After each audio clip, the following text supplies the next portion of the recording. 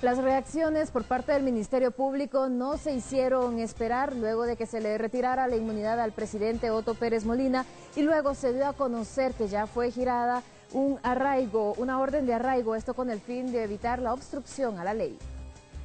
En primer lugar,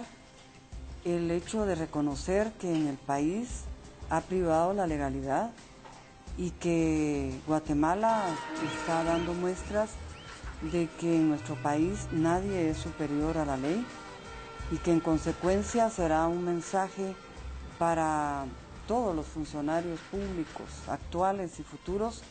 de que nuestra actuación debe de ajustarse a la constitución política de la República, a las leyes del país, porque de lo contrario la justicia puede llegar